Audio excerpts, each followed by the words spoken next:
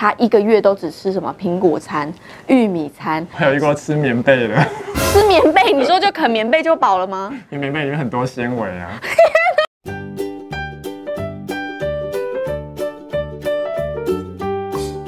本集由旺德赞助播出。Hello，欢迎收看《秘密大夫聊聊天》。过完年之后，大家都在疯减肥。今天给大家重金礼聘，请到了减重名医肖杰健肖医师。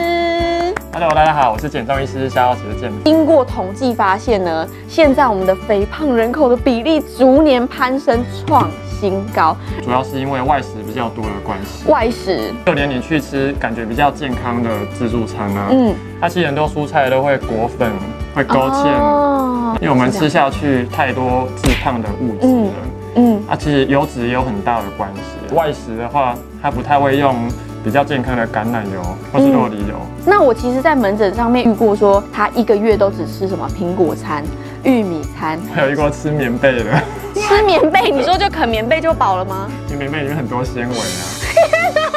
真的假的？所以为了减肥，大家真的无所不用其极。其实我在门诊最常遇到还是比较不正确的传统的那种嗯，少吃多动的啊减肥法。少吃多动。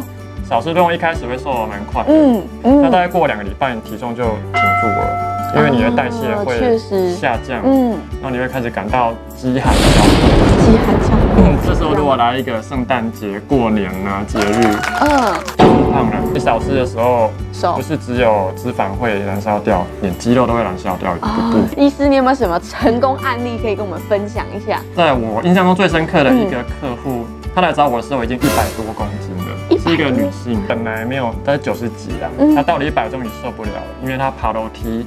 没有办法直接从一楼爬到二楼，因为他的动机还蛮强的啦。嗯嗯，后来我听说是因为有感情因素。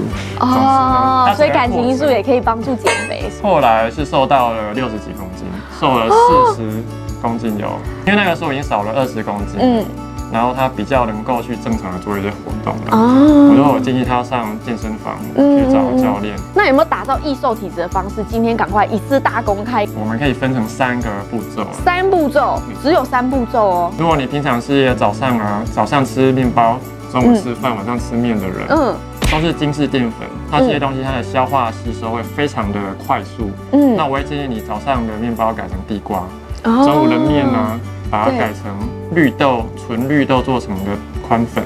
饭的话，你把它改成糙米。这些都是全谷类，它的吸收会比较慢，也就是所谓低 GI 食物。嗯，这样一来呢，你的体质会慢慢改善，嗯嗯尤其是你的血糖跟胰岛素会稳定下来，哦然后可以初步达成食欲下降啊，然后比较不会觉得饥饿的效果。那第二个步骤，我们就要开始把你摄取碳水化合物的分量减少。嗯增加优质蛋白跟纤维的摄取量。大概一个餐盘里面，嗯我们会希望一半是高纤的东西，优质的淀粉，嗯最好是占你餐盘的四分之一，然后另外四分之一就是比较优质的蛋白质，哦瘦肉、白肉、蛋。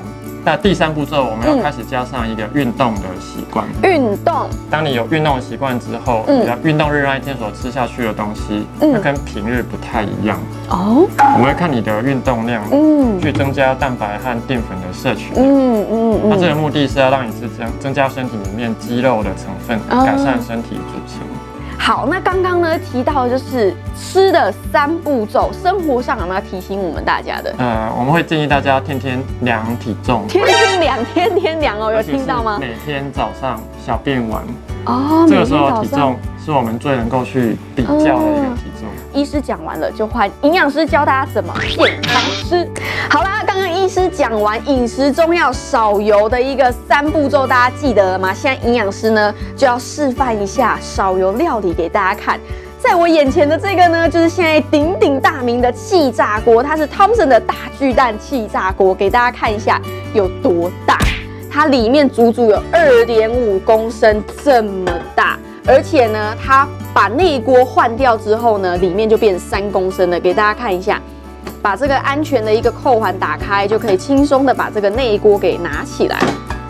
好，因为呢，它多赠送了一个大的把手，我们就可以把这个把手呢直接扣在这个外锅上面。好，安全扣环扣上之后呢，它就变成一个锅。那这个锅子呢，我觉得很特别的地方是它的一个温控做得很好。大家可以看到哦，上面从的分钟数从零到三十分钟都有，也不用担心你不知道食物怎么炸，它上面有什么薯条啊、肉啊各种，它的温度呢也从八十度到两百度都可以去做设定。话不多说，我们现在马上炸给大家看。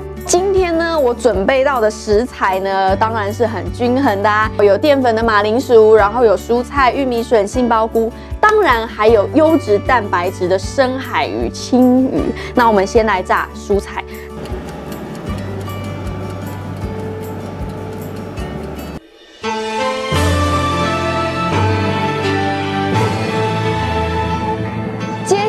我们就要来炸鱼了。因为这个鱼呢是深海鱼，就不用额外加多余的油脂。整只鱼，没错，就是整只鱼。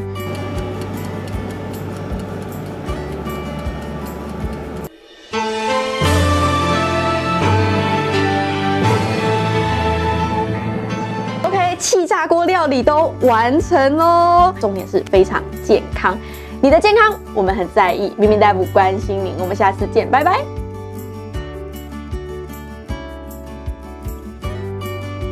有趣的话题、热门的生活分享，可以上 FB 搜寻粉丝团高敏敏营养师订阅敏敏大夫聊聊天频道，开启小铃铛，或是搜寻我的 IG，很多话题我们线上见，拜拜。